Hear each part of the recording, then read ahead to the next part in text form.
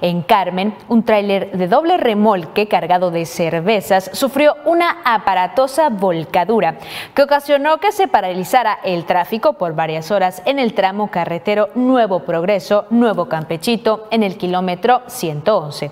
El chofer perdió el control de la pesada unidad debido al pavimento mojado y a las malas condiciones de la cinta asfáltica.